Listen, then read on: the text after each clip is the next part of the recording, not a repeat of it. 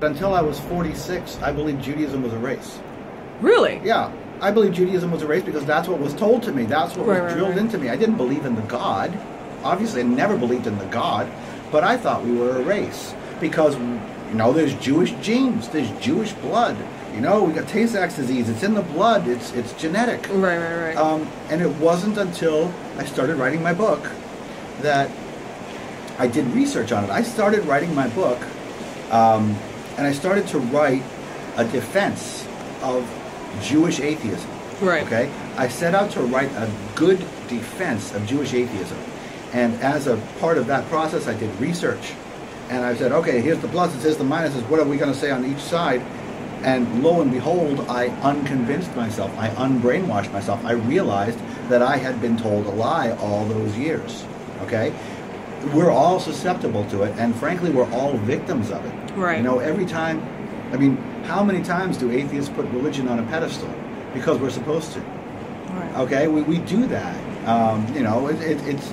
Yeah, I, I say um, here, here's a good example. My mother um, used to give money to psychics. Okay, she did not have a lot of money, and she was she gave money to psychics. And I got right into her face when I found out about it. I started yelling at my mother. What the fuck are you doing? You, come on, you're giving money to scam. Now, my mother also believed in another scam called religion. Right. So why don't we get into people's faces when they do that? It's a worse scam. It's no more true.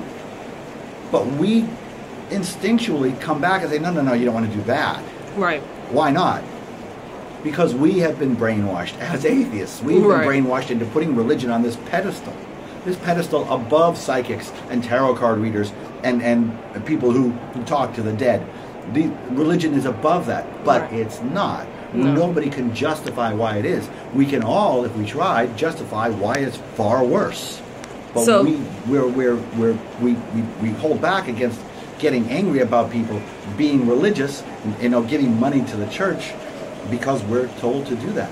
So we can see, we can look at like astrologers and tarot cards and and um, psychics as, oh, that's silly, but not more silly than virgin births and Right. flying horses and Xenu. Right, exactly, Right. exactly. But we have to put that stuff on a pedestal because we're told to do so. Well, religion has a- yeah. our indoctrination. Religion process. has a sort of re- legitimacy. yeah, Would you say? that's a yeah. Good, that, Religitimacy? Yeah, Legitimacy. yeah. I think that's feel bad word. saying that. It does have a more But it's a fake. legitimacy. It's a fake legitimacy. Yeah. It's um, it's something that we have been indoctrinated and brainwashed into following, and it's hard to break it. That's true. It's hard to break it, and that's why you know one of the things I, I've been pushing is that we have to we have to talk about that. We have to have that conversation about why we treat religion Yeah. better than we treat astrology. I think it's sillier, actually. It is, I and it's so. much more harmful. Yeah. it's much more costly in so many different ways.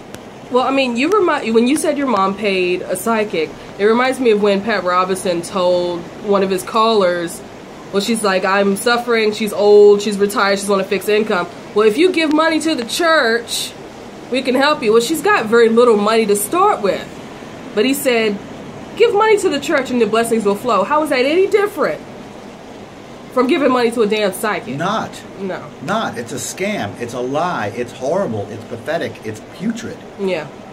It, I like but that word. We, but we place it on a pedestal above psychics. So is that why they're able to use the word bigotry against us? That's why they try. That's why they try.